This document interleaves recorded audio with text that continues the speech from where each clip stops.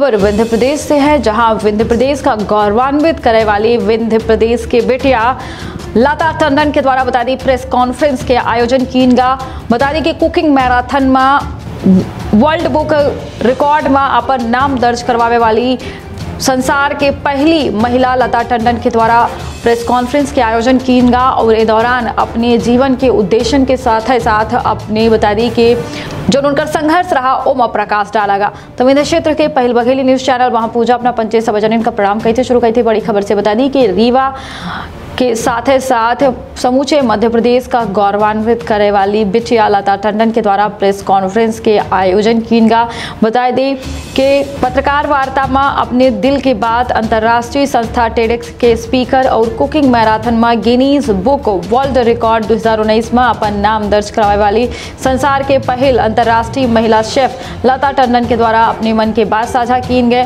World record बनावे के बाद बता दी कि तीन साल के कर्म यात्रा के बारे में दौरान लता टंडन के द्वारा बातचीत की गए और अपने संघर्ष के जो यात्रा रही, वह बताई गई। के साथ ही साथ बता दी, भारतीय व्यंजनन के बारे में बात कीन गए और व्यं, भारतीय व्यंजन का कौनमेर से बता दी कि उपयोगी बनवा जाए, खाना का जो है वेस्ट ना कीन जाए ओ पर खास तौर पर लता टंडन के द्वारा बात की गई है।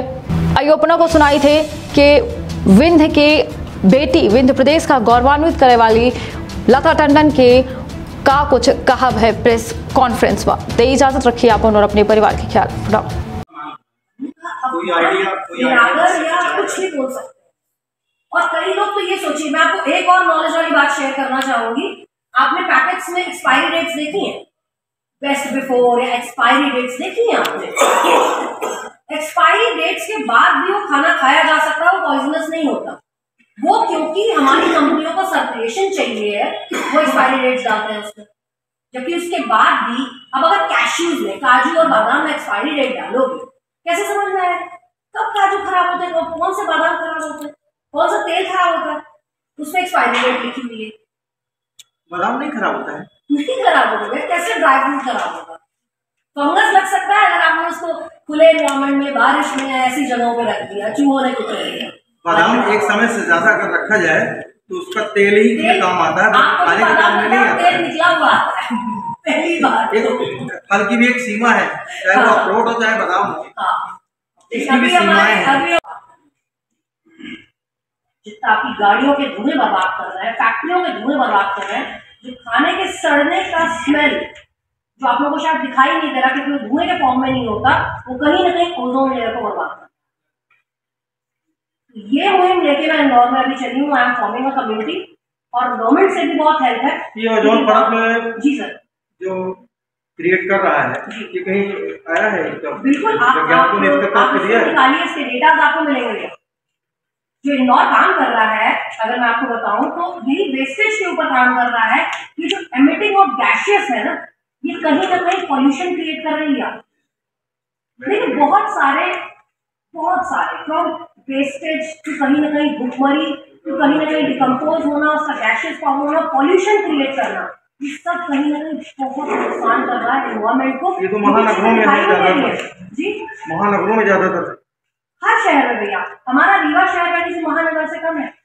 अगर मैं आपको बोलती हूँ कल हम चलते हैं रीवा शहर भ्रमण करते हैं और यहाँ पे कचरा गाड़ियों को अगर आप निरीक्षण करेंगे कचरा गाड़ियों का आप कितना खाना पाएँगे कि रीवा की आधी से ज़्यादा जनसंख्या को तीन टाइम खाना खिला सकते हैं एक बार मतलब मैं आपसे चाहूँगी, क्योंकि आप लोग अवेयर हैं, आप लोग जानते हैं, आप शहर में हैं कभी आप अगर फैशिस को उस वजह से वहाँ की बसें दौड़ती हैं, लेकिन सोचिए, इतना खाना फिकता है और लगभग लगभग 90 मिलियन जनसंख्या भूखी सो रही है।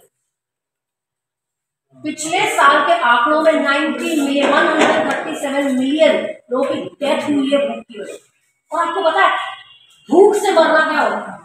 आपने जला दिया फांसी दे दी, जहर दे दिया, कुछ बात नहीं, खून कर दिया, गोली लगा दी, चाकू मार दिया। लेकिन आप सोच पा रहे भूख से मरना क्या होता है? और यही हम वेस्ट कर रहे कितना खाना हमारी थालियों में फिटता है, हमारे घरों में फिटता है।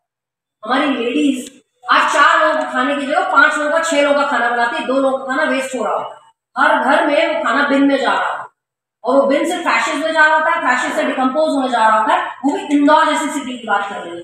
छोटे शहरों में जहाँ इसका रिसाइकलिंग है ही नहीं, सड़ रहा और आप लोगों को एक बात बताती हूँ, ये सड़ने से जो गैस एमिट आउट होती है, ये सड़न से जो खुशबू बदबू जो आप लोगों को दिखाई, समझ में आती है वो गैसेस